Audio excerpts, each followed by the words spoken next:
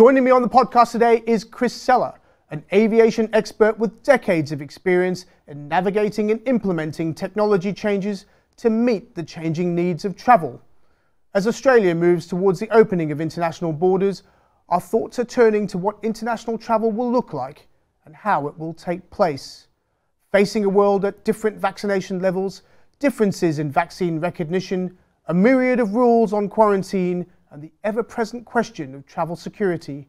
What does the future of travel look like in a post COVID environment? And how does technology and infrastructure need to change to make it happen? Chris Seller, welcome to the Smarter Cities podcast and to the DXC studio here in Sydney. Thanks, Jason. Thanks for having me, and lovely to talk to you today. It's great to see you. It's it's been a fascinating period of time here in Sydney. We're uh, at the end of our lockdown period, hopefully out uh, very soon, and I think we're seeing a new wave of optimism coming over us. You were just telling me about life on the beaches. It sounds to me you want to get rid of people from, from where you are. I want everybody back in the office as soon as possible. Well, look, it's, it's great to be here. Um, I think there's a lot to talk about in terms of travel. I noticed today Qantas gearing up very much, saying their planes are going to be ready uh, to fly.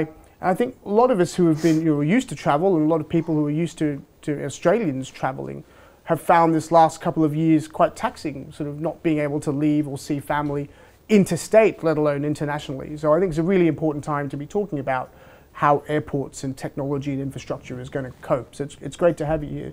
But let's start with you. I usually start these podcasts with a bit of, you know, why a person becomes an expert in a particular area. So you've had a fascinating career. I'm very keen to understand what got you into this. How did you end up as an aviation expert? Well, interestingly, I didn't actually start in aviation. My first uh, job when I left school was uh, a as a cartographer. Oh, really? And uh, I wasn't very good at it. And uh, the um, insight that I got during that period in how technology could change the way work gets done uh, got my interest in technology going. Cartography was a mix of art and technical uh, aspects, and the technical side of, of that activity um, I could see being very quickly replaced by uh, uh computation and, and uh, computers. So I went off and did my computer science degree.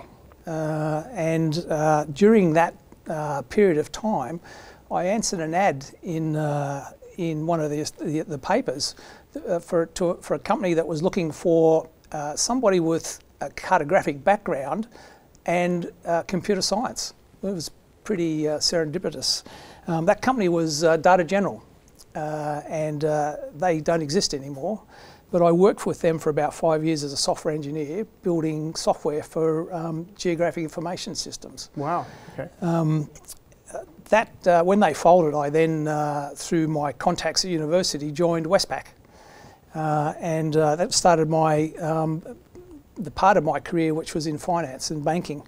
Um, it's interesting going into that sort of environment because banks have very large scale technology um, systems, uh, high transaction volumes, lots of customers and that sort of thing. So the, the, the challenge in that environment is scale. Um, towards the end of uh, the 90s, I, I, moved across to, um, to Qantas. One of my um, colleagues at, at Westpac had, had, gone across to uh, Qantas and, and I followed them. And uh, the similarities between the systems was, was, was quite remarkable again between banking and aviation. Yeah, yeah, just the you know from a technical perspective, large scale technology, high transaction volumes, distributed systems. Um, uh, but that really was when aviation got into my blood. Uh, and I worked at Qantas for about 15 years, had a lot of very interesting roles there. In fact, I was part of the team that's uh, set up Jetstar uh, in the uh, in the mid 2000s, and that was when I really got to understand how aviation worked, and, and you got to see the foundations of a, of a new airline, what went into thinking about how networks worked and, and how technology supported the business, in, and particularly from the economics of it. Um, I left Qantas um, in in uh, I think it was 2011. Um, after I'd sort of reached the role of, uh, of the chief uh, technology architect, uh, and went back to Westpac and uh, spent another five years at Westpac um, and got to see how things in that 15 years had changed with technology, how technology had advanced. Cloud computing had become a big thing. Uh, automation was much more um, uh, on the on the agenda, uh, and mobile computing and other other impacts on on the way uh, the technology systems at banks worked. Um, I then uh, uh, left Westpac in I think 2016. Uh, and took up a role in Canberra with um, the nation's air traffic control organisation, Air Services, as their CIO uh, and spent uh, the better part of five years working there, getting a very good understanding and grounding in how the air side of the of the industry worked. Because mm, you managed, that's right. You would have seen both sides then. So I've seen it all. I've seen the yeah. airline, I've seen the airport, and I've seen the airspace management. So I've had. It's, funny, it's funny. I was listening to a uh, discussion today about um, a guy who is the biography of Peter Thiel, who came up with um, PayPal and Palantir, and one of the the great statements, the you know, famous statements Peter Thiel had made was, you know, if you look at air travel, we really haven't progressed at all in terms of airspeed since the 50s and 60s. In fact, the average speed uh, of, of airlines has slowed, and that's true. You know, we don't have Concorde anymore, for example, right? You know, for a variety of reasons. Um, but to say then that technology hasn't evolved in aviation actually isn't correct, because if you think about it, air travel in the 50s and 60s was almost unaffordable for the average person, whereas today it is very affordable, at least it was pre-pandemic, very affordable. You can travel on a Jetstar, you can travel internationally in economy uh, for a very competitive price, and that is due to technology. One of the, the big pandemic issues is, I suppose, how what was becoming an increasingly connected and uh, an accessible world through travel has now been stopped because of um, border closures and um, you know, for quite legitimate reasons to stop the, the, spread of the disease, which none of us have in any recent time experienced before. I think aviation's probably been the most impacted by COVID than perhaps any industry.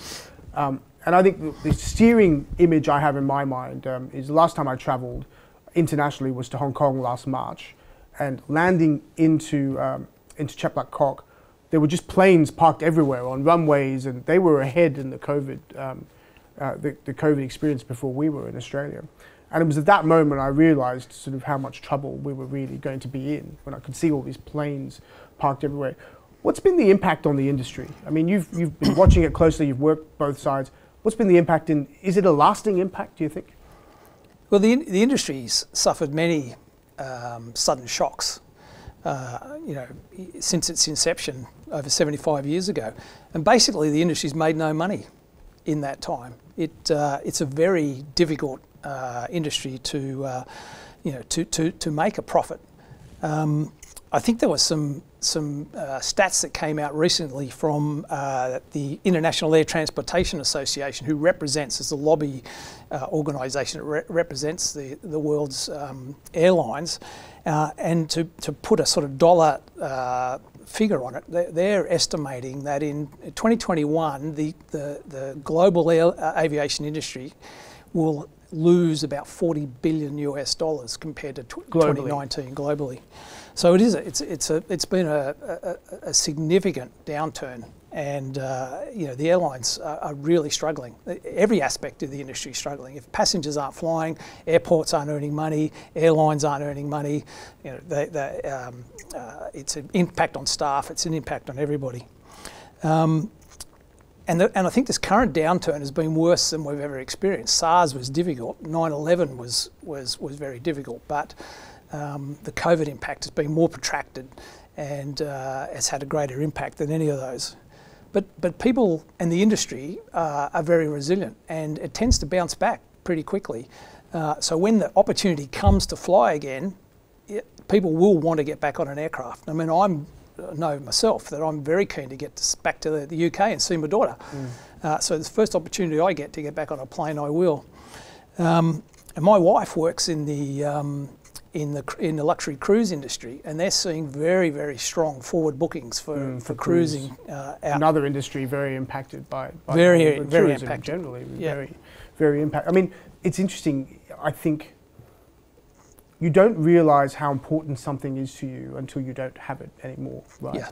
And so I think uh, domestic travel, uh, international travel, the ability to go anywhere in the world quickly, for many people, it's been a shock. Uh, to not have that available to them anymore. And you see Europe opening up, and, and certainly my, my colleagues in, in America telling me they're going city to city and how grateful they are to be doing it. After a period of time when those of us in business travel were like, oh my goodness, I've got to get on a plane again.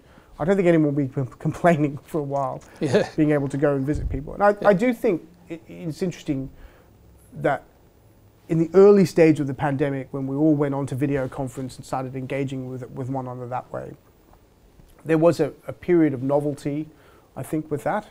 And now more and more people I speak to are saying, you know, I miss the actual human interaction of speaking to one another, meeting one another, having dinner with one another. Yeah. Because that's how you create new things. I think generally yeah. that's how you create new things. So I certainly think we, as we look from an Australian perspective at, you know, our, uh, how things are going in the UK and in Singapore and in America, and how they're learning to live with this virus. So that's that's certainly a pathway we're going to be going on. Travel is going to play a big role in that. Yeah, definitely. yeah, definitely the leisure travel industry will will return pretty quickly. I think it's interesting though from a business perspective. I think businesses have actually learnt to use remote t- technology and remote Definitely. working, and and I, I, don't see business travel coming back at, at the same pace, if ever.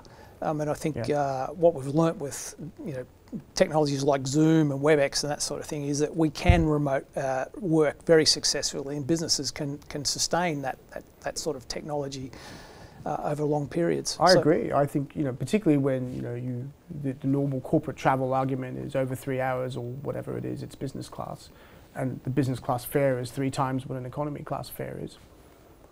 You know, yeah. why would I need to spend that unless yeah, yeah. I unless I really need that travel? So it goes back to your question around the financial sustainability of the airline industry, which. Uh, it's fascinating, really. I mean, one of the arguments I've, I've read about the aviation industry is there's too much competition in the in the sector, which is sort of competing away all the profits.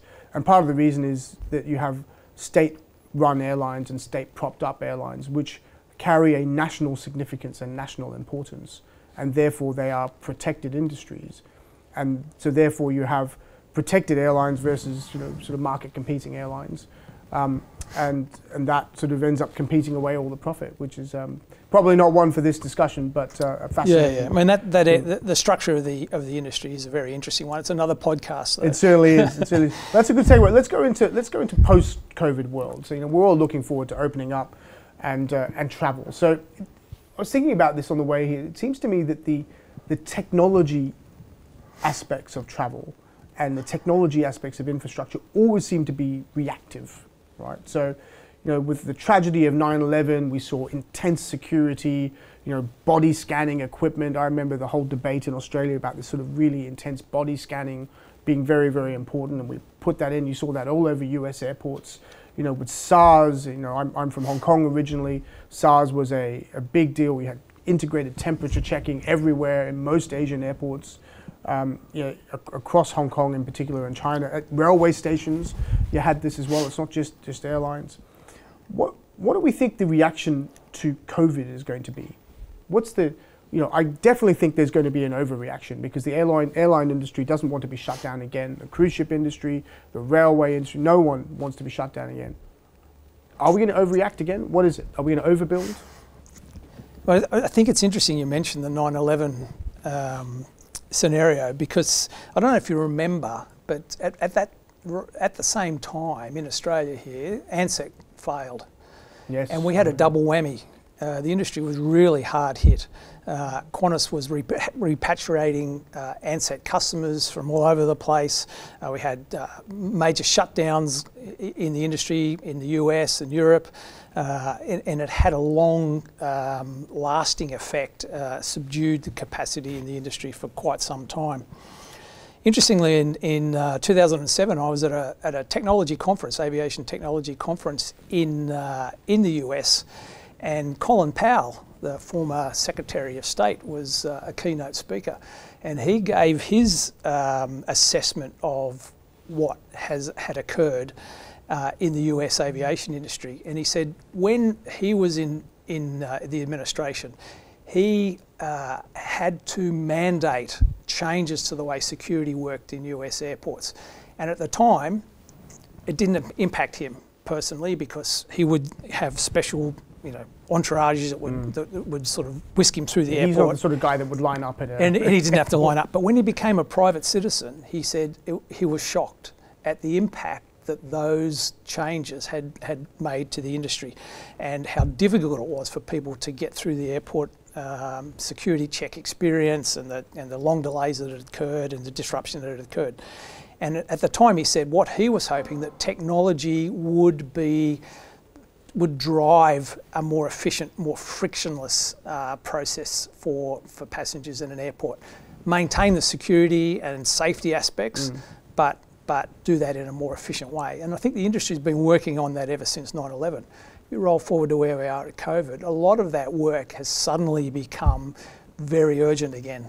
And, uh, and that's what we're actually seeing. And I think that's what we're going to see post-COVID. You're going to see a lot of that investment in R&D in innovative ways of managing passengers through airports and through the travel experience start to, to come into play. And we're actually seeing it now in, in many of the airports globally. What so what? Let's let's go into some specifics. What what do you think will happen? How will the travel sort of experience change? So I remember, for example, being traveling around the U.S. Um, you know, around around just after 9/11 happened, a couple of years after, and it was. You're right. It was a ter- terrible experience. You know, I I looked on my boarding pass. I had a particular mark on the boarding pass. I'd been randomly selected Yep. for specific checks. Um, and it was a very manual check. You know, they come and check you, they check your bag, whatever. wasn't really a lot of technology involved. You still had the the body scan thing, which was not available in all U.S. airports at that point. But from a technology perspective, you know, there's been a lot of R and D around all of this, and there will be a desire to keep air travel as sort of um, open as possible. Are there particular things you, you envisage are going to come into change the way we do this? Yeah, I think um, we're, we're seeing them now. So the, the, the big areas of, uh, of change will be around biometrics, to, you know, for uh, passenger identification and contactless servicing in, in, in the aerodromes. So what we're seeing is enormous amount of effort being put into uh, building the, the capability for uh, governments, airlines and airports to, to use biometrics to identify passengers at scale uh, and, and get them through the airport uh, experience in, in a paperless way. So is that what is that a fingerprint? Is Uh, it- is- facial recognition, facial so facial geometry, iris iris Wow. scanning, facial geometry. It's mainly facial geometry is, is, a, is a So technology that it scans you at the beginning, Yeah. and then it scans you at the other side, or, Yeah. or does it scan you through? Well, at various waypoints through through the airport. As you Right. as you go into the terminal, you'll probably get scanned. Uh, you know, there is a number of airports that are doing. it. Doha, for instance, does that. Um, you know, they look for uh, people that shouldn't be coming into the airport. You know, people with records and that sort of thing that they don't want there. Uh, then, then as you start to progress your way through, you drop your bags, you do your check-in. Uh, you know, uses facial recognition, biometric facial recognition, uh, and and sort of it eliminates the need for for the use of paper documentation like passports. well, I was going to say, do you need a passport then, right? The, the problem, the, currently, the problem is that, that if you're in a geography or, or, a, or a country where that has become the, the norm, then it works really well. But at Mm. On your other end, arriving yeah. uh, Yeah. airport, if they don't have the same capability, that, that's uh, where it becomes problematic. Yeah, and I want to get to that. Um, but before we get off the technology response, like, what about touch? So, obviously, you've got facial recognition that will get you through each way. If you remember at the beginning of the pandemic, you know, prior to the sort of alpha variant, um, I don't remember all my variants, but I remember the first thing was, you know, you've got to sanitize your hands, right? Yep. Um, that's a big deal. Don't touch anything, right? Then you know, masks became mandatory in most places on public transport, for example. Yeah. Do you think those things? I mean, those are not technology solutions, but do you think those are permanent features of airports now in terms of hygiene, cleanliness to avoid, Yeah. you know, Yeah, I think that they will be. They'll definitely be um, uh, permanent features. The um, uh, there are a number of airports that are deploying uh, uh, thermal uh, monitoring, uh, fever monitoring. Uh, I mean, it's almost a mandatory at airports Yeah. now to, to Yeah. check people's temperatures as they as they work their way through the airport. Um, that, that sort of technology will become a permanent a permanent feature. Hopefully, it doesn't raise too many alarms in, a post-COVID world. Most people hopefully will be healthy and, and, and get work their way through the airport experience relatively unscathed. But uh, that definitely will be a permanent feature. Kiosks that do fever. So, I mean, remember in SARS, you if you had a high temperature, you were sent to a room. Fortunately, I wasn't one of these people, but somebody I was traveling with was. Uh, and you had to wait for a few hours until, and then they kept temperature checking you until you, they were sure you weren't suffering from something. Yeah. Is that what we're looking at in a COVID scenario? Yeah, yeah. What's interesting? quarantine rooms. Uh, you know, yeah, I think I think that that is that, that's an option. Uh, you could be denied, denied entry to the airport, sent away. Um, it's interesting. Istanbul Airport's doing a lot of very interesting things. They, they actually are now doing rapid COVID testing. So if mm. you show up at the airport, you're not a vaccinated uh, passengers, you haven't can't produce uh, uh a recent uh, uh, negative test result, they'll do it on the spot. Right. They're and using rapid antigen. Yeah, rapid antigen testing, and, and, they, they can apparently do about 12,000 tests a day. They're almost a pathology uh, lab wow. in their own right now. So that, that will become, uh, you know, the norm in, in, in the post-COVID world. So think about, thinking it through, I mean, you're looking at Qantas, for example, saying you must be vaccinated to travel. You have a COVID certificate that, you know, as Australians, we all have on our phone now, um, which is a great innovation. Um, does that mean now they might actually end up testing you before you get on the aircraft? I mean, the US is quite strict about things. Remember, you have an extra security check if you're on a US flight. I wonder whether you might actually get a, a rapid antigen test going onto a plane internationally. That's well, possible. that could happen. It's, a, it's an expensive process for the airports and the airlines to do that. I mean, they would, they, you, you, would, you would think that they would sort of push that back to the passenger to, to, to do that to themselves, do themselves, before they yeah. arrive. And the last thing you want is someone arriving at an airport that's COVID positive. Um, but but that sort of thing will will, will start to. But it's going to happen, right? It's going to happen. Yeah. You are going to get COVID pa- positive passengers. I mean, you, yeah. you, think of the case numbers overseas are still substantial, right? Uh, in the thousands per day. We we are less worried about them because of the high levels of vaccinations in some of these places. But and you know, I, I don't want to speculate, but in Australia. While our case numbers are where they are right now, as we begin to open up, they will inevitably rise. Yeah. Um, and so, you know, in the current world we live in, if you have a COVID positive case, pretty much you close ranks around it. But you can't possibly do that if you know you're, you're an airport. You can't close yeah. down every few minutes. You, you raised the cost structure here, which I think is fascinating about this because I remember when we went through the the security uh, era after after 9/11, there was a big debate about who pays for all this airport infrastructure that the government, effectively as the regulator of airport security, was putting into place. And the airports were passing that on to the airlines. The airlines inevitably had to pass it on to the consumer. But there was a, of course, there was a price elasticity of demand for um, airline tickets. So the higher they became, the less people demanded them. And so all of a sudden, airlines ended up being on the receiving end of losing money because they had high airport access fees, high airport security payment fees. They're also paying for quarantine officers. They're also paying for you know whatever else. Do we think that the cost structure of airport infrastructure is going to change substantially again now with with COVID technology? Do you see that happening? And do you think the airlines are going to be part of that solution, or will they fight back?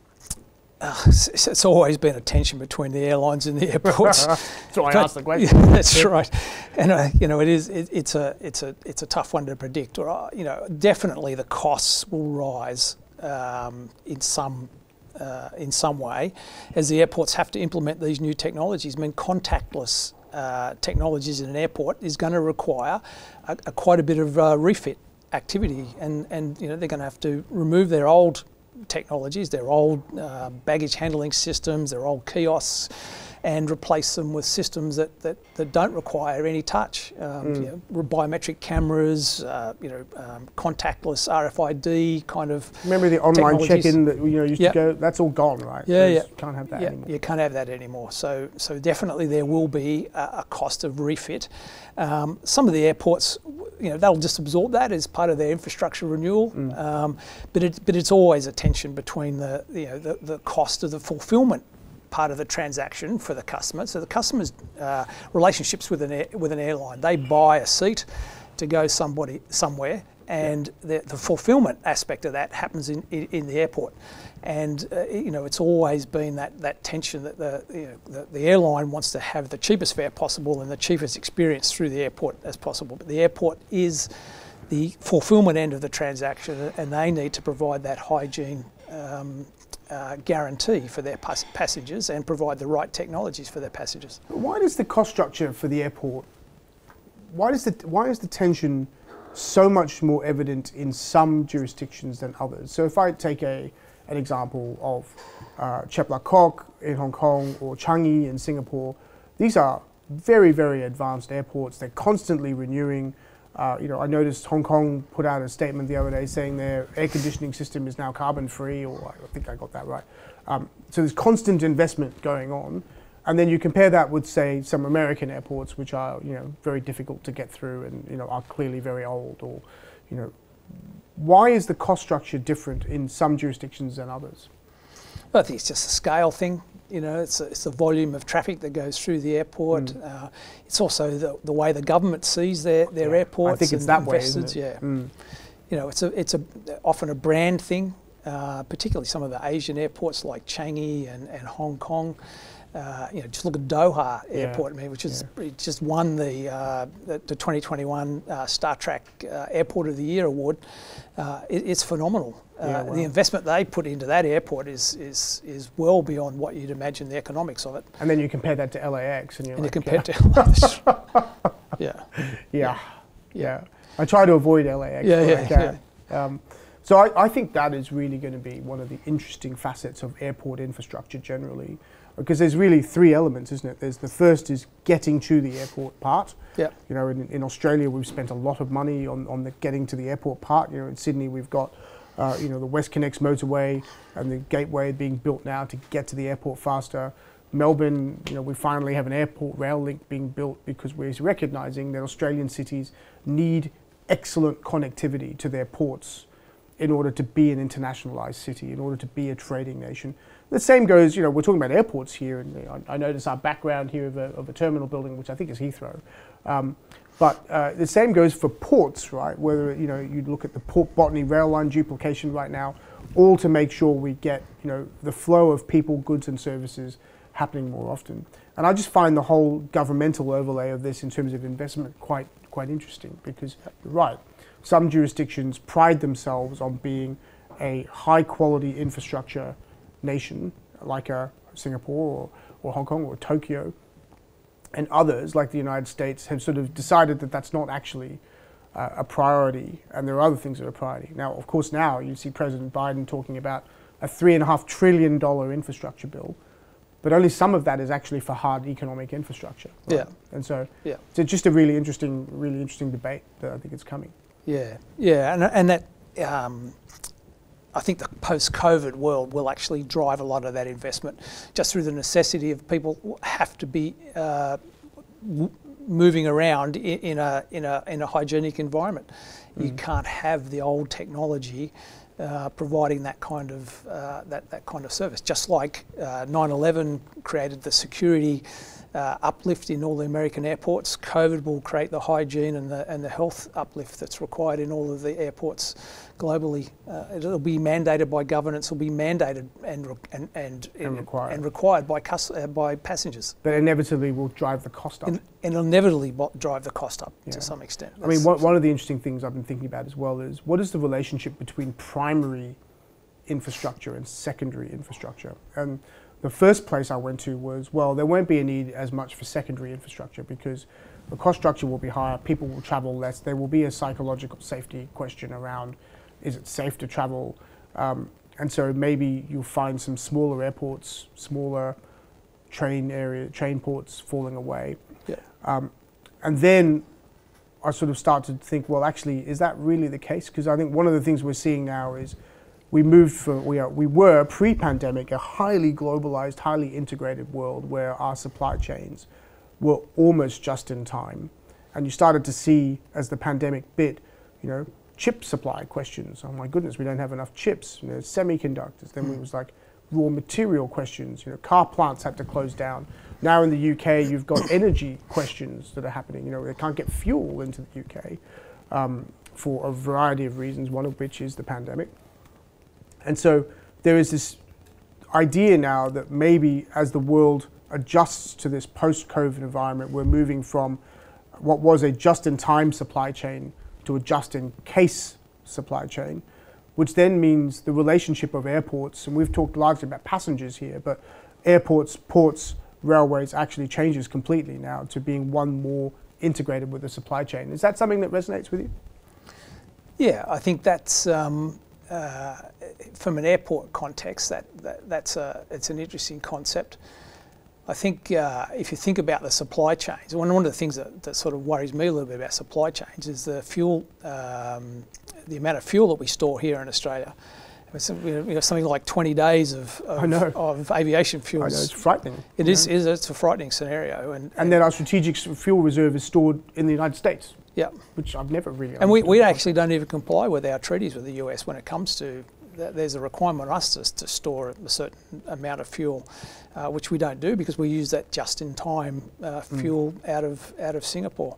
What has been what is the reasoning behind that? Why? I mean, given the given the size of our country, we have space to have a strategic fuel reserve. What stopped us from? Oh, I don't know what's stopped. It's a you know it's something I don't think gets enough attention. Yeah, and it hasn't been a problem uh, well, yes. uh, until yeah. you know, probably even with COVID, we haven't really experienced a fuel problem here in Australia. I think if we have a you know a bit of a dispute somewhere in the South China Sea, that might change people's opinions about how that gets handled. It's quite topical at the moment, really, isn't yeah. it? You know, I do think. I mean, it's, it's funny. John Anderson uh, on his podcast um, has been talking about this issue a lot. You know, interviewing different military, former military personnel, and whatever else, raising it as an issue because I actually think it doesn't have to be a um, an act of war or, or, something else that disrupts the supply yep. chain. In this case, it's a health emergency that disrupted the supply chain, and in the case of the UK. Um, that could happen here, right? Yep. There's something that's happened in the UK that's caused fuel sh- uh, fuel shortages. They're now suffering as a consequence of it. And the Prime Minister saying the problem will be solved by Christmas. So they're going to be in this sort of period of time with you know sort of higher energy prices till Christmas. Yeah. I just can't imagine know, the public are going to respond to that. They're, yeah, they're not, well, they're not going to be happy.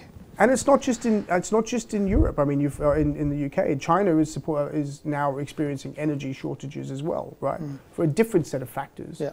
So I think you know a lot of this then comes back to the freight and logistics supply chain where airports play this big role. And yeah. you know, I know there's going to be a change in the cost structure and how passengers move, I'm convinced there will be a freight implication here as well. And I haven't quite thought through what that is yet. Yeah. But I think there is definitely a technology element to that too, yeah. as to how all of that gets managed.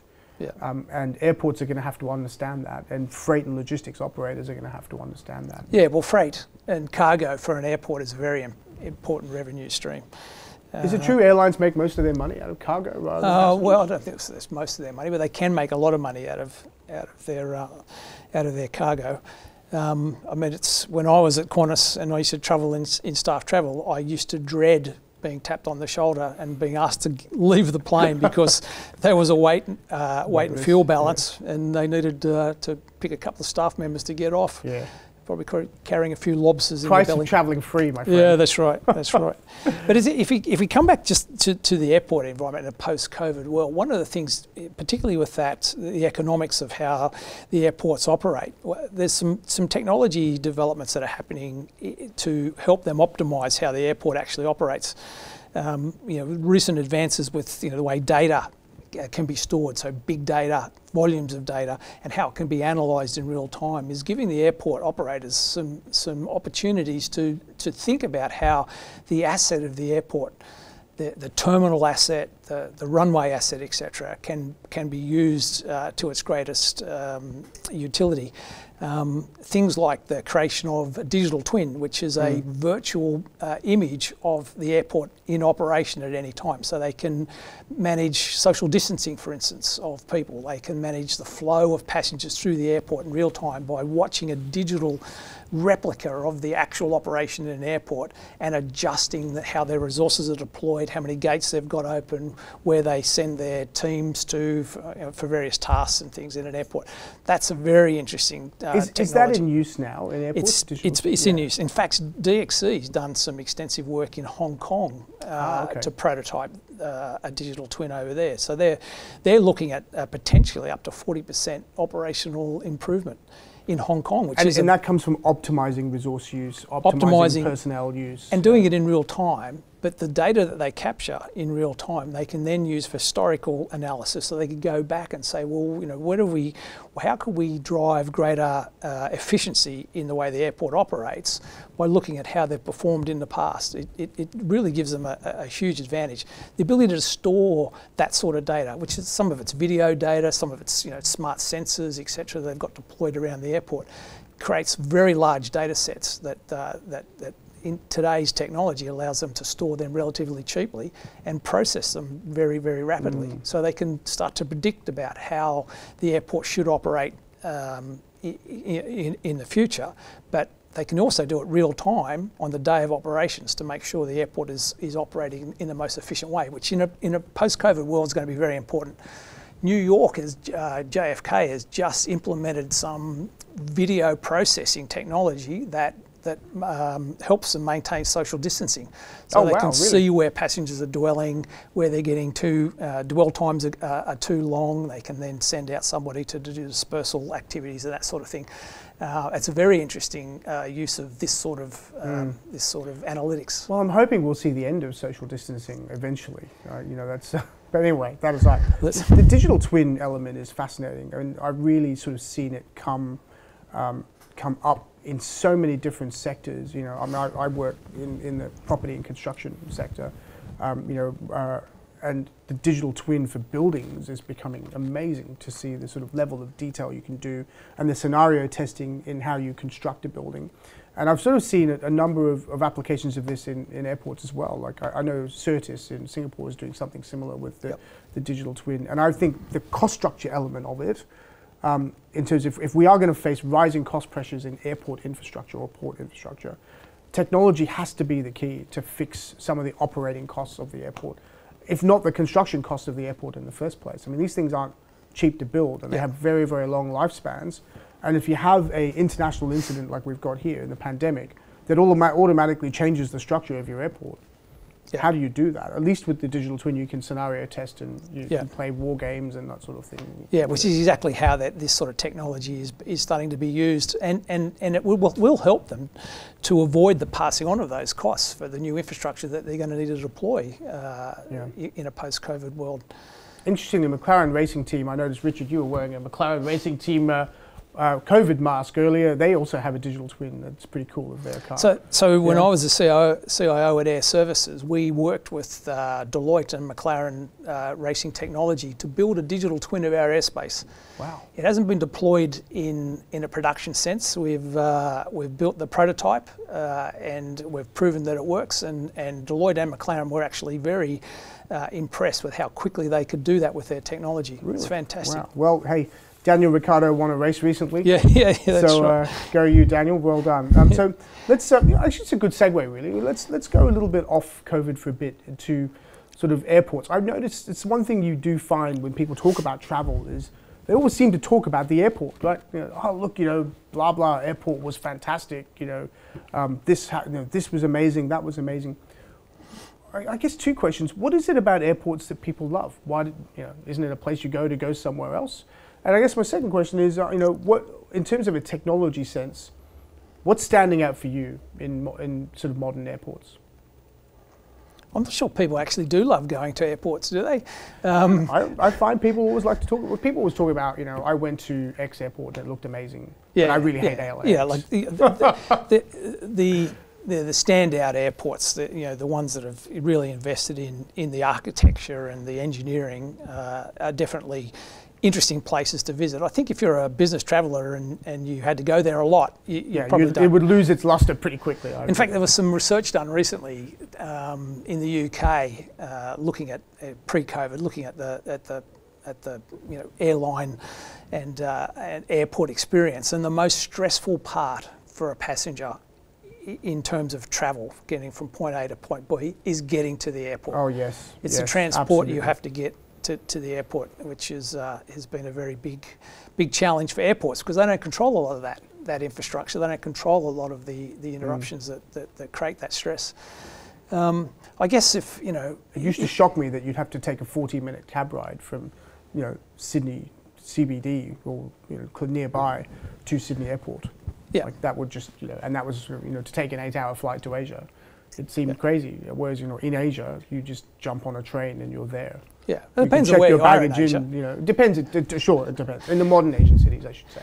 I uh, you spent a lot of time in India and uh, Different scenario. and I, I spent five hours in a taxi getting to the airport. So Oh, I remember as a child traveling through Bombay Airport. It was not one of my uh, favorite experiences. yeah, I remember. But you know, I mean, I think some of the airports that have really for me, that Shanghai, what they've done there with that sort of big dome in the middle of it is extraordinary. Yeah, yeah. That is an yeah. extraordinary airport uh, architecturally.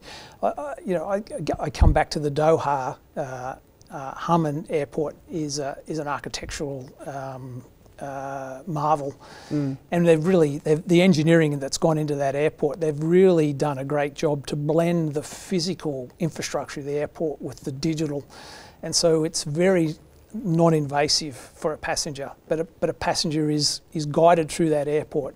Um, in, in a way that you, you- don't even see the technology. You don't really, you feel it's the actual architecture of the building that's helping you navigate through the airport. And I think that's a, a really fantastic example of, a, of an airport using technology in an intelligent way. And I can't ever sort of go past uh, Changi. I mean, Changi Oh, yeah, is my is my favourite airport, and the the, the Singaporeans are, are credited with coining the, the term aerotropolis, which is an urban form that that, that kind of has the airport at the centre that drives the, econo- uh, the Mm. with the industrial base around. with the yeah. industrial base around and, and that sort of thing. And they've just driven that, that, that sort of model really, really well. And Changi Airport, for me, is the most stress-free environment. And I never have a bad experience in Changi. I never ever feel crowded in Changi. Um, and the bags are always on time. You know, the process through immigration or emigration is always seamless and, and simple, even though they, they haven't really got their biometrics working yet, um, which is just being implemented now. Um, and the other one, I, I think that I, my, my other favourite airport of mine is, is Hong Kong, for a very similar reason. You know, it's a it's a a- airport city, uh, and they've done a lot of work to invest um, in the way that technology integrates seamlessly with the physical infrastructure. Of the I loved that you could check your bag in at the station and it would arrive in Sydney. Yeah. Uh, At the train station. Yeah. Like the Airport Express, and that was well ahead of its time. Right? what was was fantastic. In fact, the the, the Hong Kong uh, Airport Authority is doing some really fantastic stuff at the moment in terms of uh, um, you know, m- maintaining health standards. They've implemented a um, a a channel, and they're only using it for staff at the moment, but they think that they'll use it for passengers in the future, which which sterilises. Um, uh, as you as you walk down, it, it uses ultraviolet light to sterilise people, and so they use it for their staff wow. that are working in the airport environment to make sure that they're um, that they're, uh, that you know they're clean and, and it's hygienic. The other really in- innovative thing I've seen there at, at Hong Kong is they're using robots to do cleaning. So the ro- these little robots wow. go around, they clean the toilets, they clean all the public areas, they sterilise everything using ultraviolet and and air purifiers and things. And I think that's a really really clever, innovative use of technology in an airport uh, context. Well, again, it, it changes your whole personnel dynamics as well, right? Yeah. If you're, know, because again, airport security, airport hygiene, Yeah. you can go on and on. I think that's, uh, for me, Hong Kong and Sydney were my two favorite airports because they were both home. Yeah. My parents were there and, you know, I lived here, Yeah. so they were always my favorite. You know. Sydney's always great to come home to. That's I might, I must say though, with Changi, the airport economics are fascinating in the sense that they pioneered, and I think the, the, the Hong Kong Chinese did as well, the fact that you should be entertained at the airport while you are there. So you can do some shopping, you can visit some type of tourism attractivity. Like they've got that sort of garden upstairs that you Yeah. can go to. There's a video game center. There's a, Yeah. it's a very interactive sort of airport. It's an experience. You will, it's an experience. That's the word I was looking for, right? Um, it's not a place. It's not like an airport. Like I will use Bombay again, which is not. An, ex- it's a different type of experience, a very different reason. Um, it is a, and I think that the economics of the airport have become fascinating and the technology overlay of that becomes fascinating as well in terms of well if the airport's an experience and you're being it's designed to be attracted to um, then how do you manage that in a post-pandemic world i think is fascinating. I want to go back quickly to one thing we were talking about earlier which was and you mentioned it and i said i'd come back to it was if it's really advanced on one side and not advanced on the other then you end up with this sort of global inequity really don't you? You have a situation where you know you're safe and secure, you're completely sterilized, you know you're biometrically secured, and then you arrive somewhere else where you're back to your paper passport and you know manual temperature checking. Do you think that creates some type of global inequity there? Is, is there a problem with that? Is that a problem? It's been a problem for the industry since its inception. Um, and it, it's difficult. It's because it's a, it depends on nations being at a level of interoperability from a technology perspective and, and a process and training perspective. There are three uh, primary um, uh, committees or, or organisations that, that oversee this. The first one is um, uh, uh, the uh, International Civil Aviation Organisation, which is a subcommittee of the United Nations, ICAO. And ICAO sort of governs, it's not a regulator, um, and, it, and, it, doesn't overrule national sovereign um, rules and regulations, but they try to uh, manage the harmonisation of uh, air traffic across uh, across the globe. They try to make sure that everybody's at a, at a, level um, where air transportation can be safe and reliable. Uh, and that often means uh, having a level of interoperability and technical capability that, that poorer nations struggle with. And they have a, um, uh, an initiative called No Country Left Behind. And that means that the way that they're driving the technology innovation and the technology development uh, for aviation is ensuring that uh, poorer nations can, can be uh, brought along that journey and that interoperability uh, isn't impacted by their, their level of investment that those poorer nations can make. Now, the problem is that causes a lag because the advanced nations are, are, are able to invest in modern uh, advanced technologies much quicker than the poorer nations, and mm. it takes a while to, for that to catch up. So that lag does generate a bit of an issue. The, the second um, uh, organisation that's involved here is uh, the International Aviation Trans uh, Air Transportation um, uh, Organisation, IATA, and they represent the airlines. And, mm. and what they do is they try to ensure that each of the, the, the, na the national states don't implement regulations and rules that, that, that penalise the airlines and, and, and they work with the airports and, and ICAO uh, as well.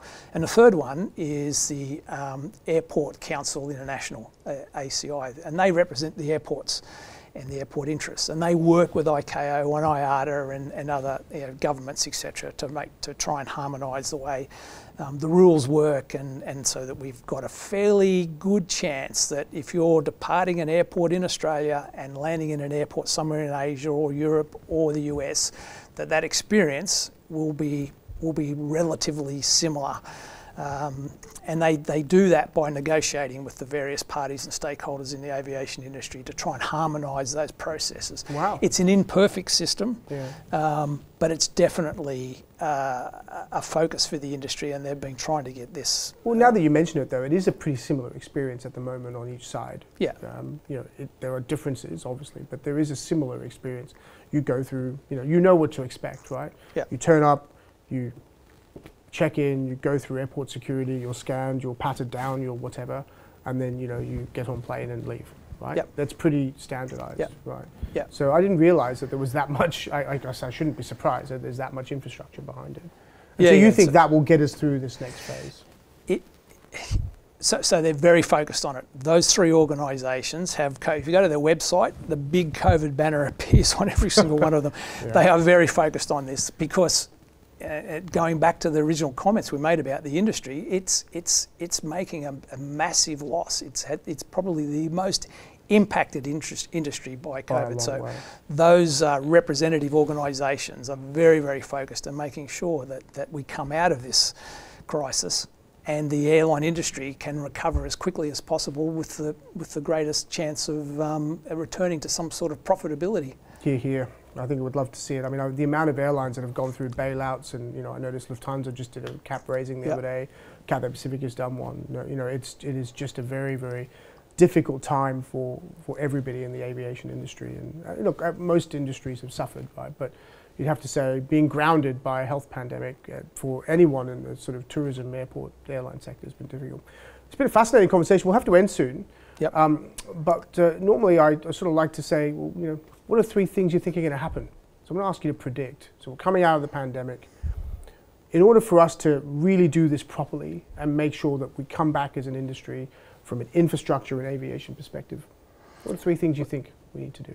So the, one of the first things is we have to get our uh, the biometrics working in a global perspective. There's no, it's not going to work very well if you can be biometrically um, efficient in your home airport and then have to get out your paper passport and your paper documentation at your arriving airport. So IATA is doing a lot of work in that area um, on an initiative called One ID, which, which includes biometric uh, uh, facial recognition, matching with identities, and vaccination status in a single uh, single product. So I think that's a very and interesting. vaccination status. Yes, interesting. And and they're working with all nations. So they're they're they're, they're going to implement a system that will that will work with all of their all of the nations, uh, the 193 yeah. nations that that are. It's going to bring in vaccine recognition, isn't it? That's going to be fascinating. It's going to be fascinating, and and if you if you don't have a vaccine, then you're going to have to have some sort of test status. Mm. So this system. Oh, okay. so that. you might so be tested as negative. Yes. That might be right. Yeah, yeah. yeah.